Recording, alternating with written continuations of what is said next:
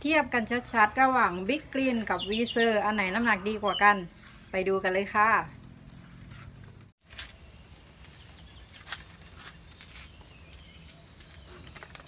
อันนี้เป็นวีเซอร์นะคะ เราจะเลือกเอาไปหนึ่งต้นนะเพื่อนๆ ลองดูต้นที่โตที่สุดเลยนะคะ นี่ รากสวยมาก เราจะเลือกไปหนึ่งต้นนะคะ ลองดูว่าอันไหน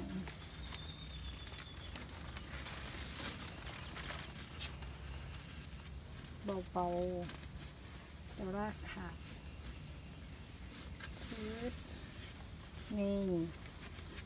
นี่ อันนี้วีเซอร์นะคะ เดี๋ยวไปเอาบิ๊กกรีนหนึ่งต้น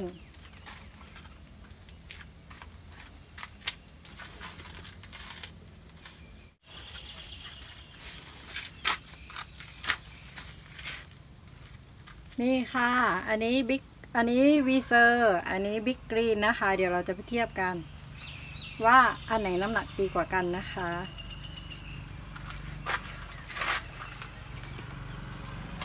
อะเดี๋ยวจะเริ่มจากวีเซอร์ก่อนนะคะว่าจะหนักเท่าไหร่นะคะ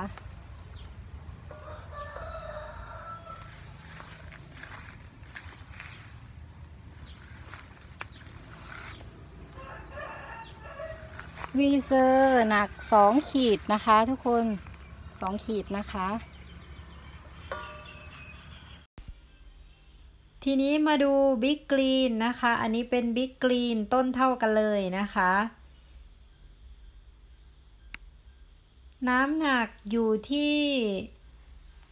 หนึ่งขีดกับอีก60กรัมนะคะเพื่อนๆ ต่างกันอยู่40กรัมนะคะ ค่ะ ก็จะเห็นนะคะว่า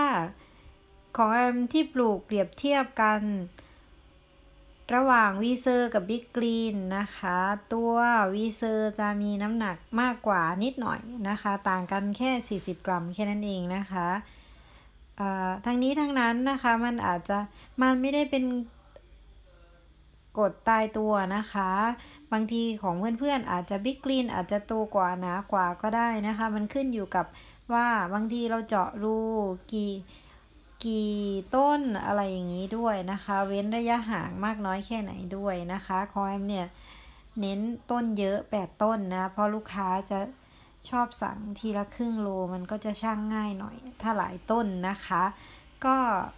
เลยสะดวกที่จะเจาะเป็น 8 รูนะคะ